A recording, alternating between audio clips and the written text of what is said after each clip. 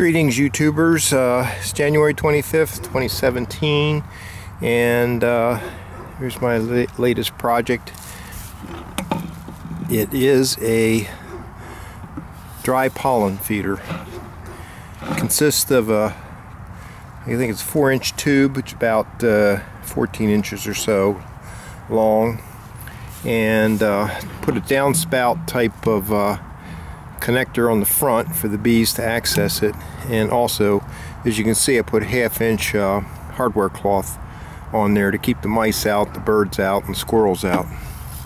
And what you do is you uh, screw off the back here. And uh, you can put a couple scoops or a couple pollen inside the uh, tube here and the bees will come in and uh, gather the pollen and take it back to the hive. So that's the plan. Um, didn't spend a lot of money on this because the tube I already had laying around in the yard. It's just scrap from another project. And uh, this is a back the top of a mayonnaise jar. So that worked out well. So I didn't have to buy it. The only thing I had to buy was this piece here and that's about $5 and I already had the hardware cloth. So anyway, we're going to load her up and see how she works. Okay, it's uh, February 2nd, 2017 and this is part two of the pollen feeder and as you can see the bees are using it. Um, I put a couple scoops in there, it's kind of dark in the back it looks like I'm going to have to reload it though because the bees have uh, looks like they got most of the pollen out of there from what I can tell. That's just the dry pollen and uh,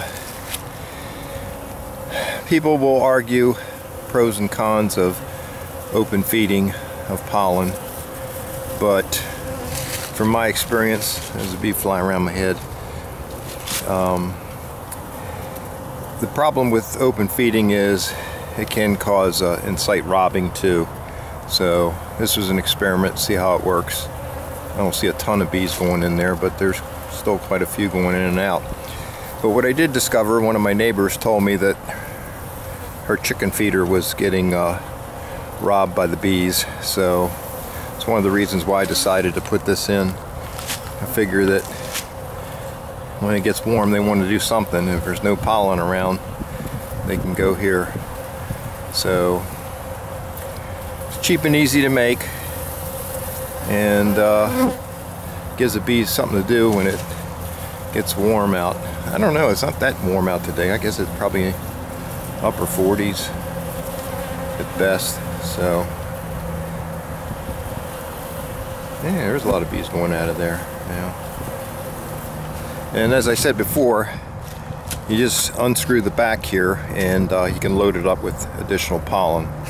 And the stuff that I've been using is from Mann Lake and it's called Ultra Bee 60% crude protein. And uh, I've had good luck with their pollen patties and uh, this is no commercial. I have no vested interest in them but they seem to work pretty good though alright anyway, that's it.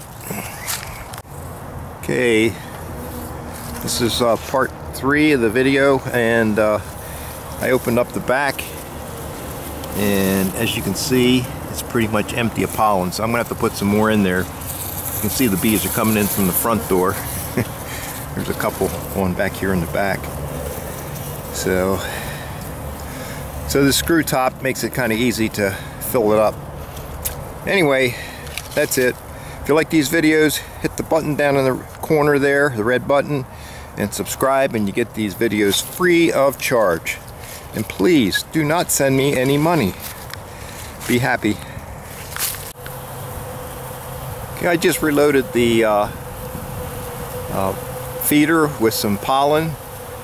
And man, look at the bees. It's just like they know it was coming. Um, I just did it 30 seconds ago and look at the number of bees on it now. Man. They're going, there's a little bit I dropped at the top. they're picking it up. So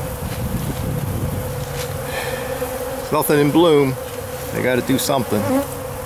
And it's either this or they're my neighbor's chicken feeder, and she didn't seem too happy about the bees in her chicken feeder. So anyway, that's it.